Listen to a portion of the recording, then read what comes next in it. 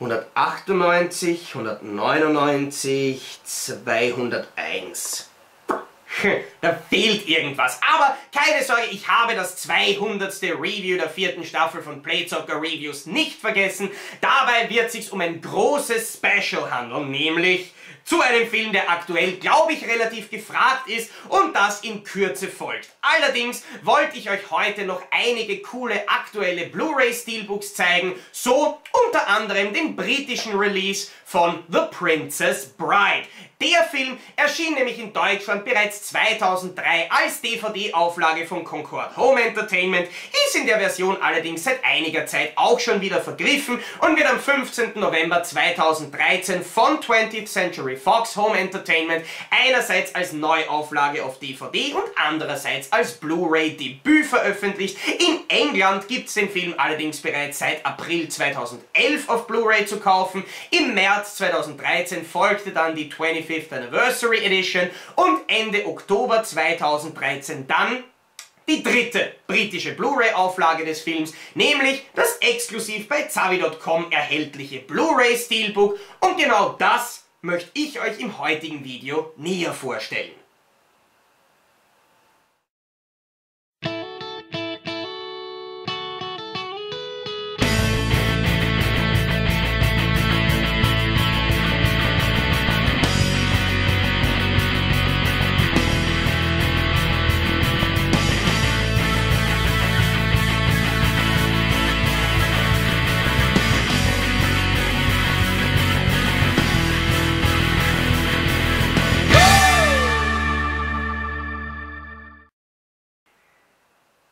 Lionsgate hat das Steelbook wie von Fans gewünscht mit einem Backcoverblatt aus dickem Papier ausgestattet, das nicht nur alle technischen Details und sonstigen Informationen enthält, sondern auch die Freigabesymbole auf dem Frontcover. Nachdem das Teil gar nicht am Steelbook angeklebt oder sonst wie befestigt wurde, kann man es ganz leicht entfernen, sodass wir uns schnell einmal das Front- und Backcover-Artwork des Steelbooks anschauen können. Das Frontcover bietet eine meiner Meinung nach wirklich coole Aufnahme der Hauptcharaktere des Films, ein vielversprechendes, atmosphärisches und vor allem gezeichnetes Bild, das sich an einigen Stellen den Steelbook-Effekt wirklich toll zu nutzen macht. So sehen wir diesen in erster Linie bei dem Filmtitel, bei dem Rauch im Hintergrund und auch bei einigen anderen Elementen wie beispielsweise den Waffen. Dadurch ist das Steelbook Cover Artwork nicht nur cool an sich, sondern macht vor allem einen besonders guten Eindruck, wenn man das Steelbook etwas bewegt. Ähnliches gilt auch für das Backcover Artwork, das ebenfalls ein durchaus cooles Motiv zeigt, allerdings meiner Meinung nach nicht ganz so speziell ausgefallen ist wie das Frontcover Artwork und das auch nur an einigen ausgewählten Stellen den metallischen Steelbook-Effekt etwas zur Geltung kommen lässt.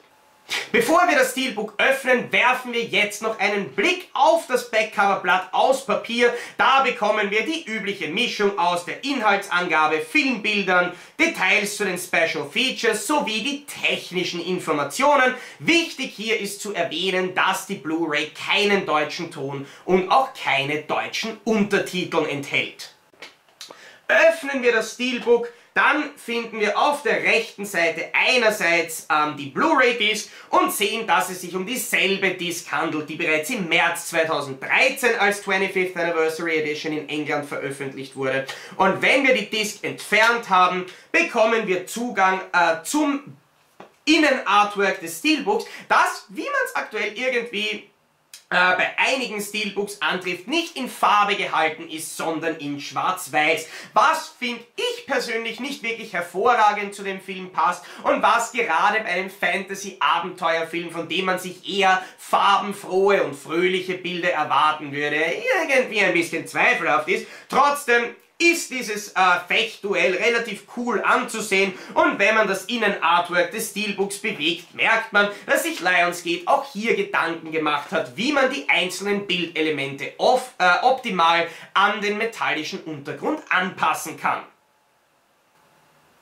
Für mich persönlich ist die britische Blu-ray Steelbook Auflage von The Princess Bride ein wirklich gelungener, optisch ansprechender Release. Das Frontcover Artwork gefällt mir sehr gut, das Backcover ist ebenfalls gelungen und auch wenn ich mir persönlich etwas bunteres als Innendesign gewünscht habe, kann man trotzdem sagen, dass die Artwork Choices von Lionsgate durchaus ansprechend und gelungen sind.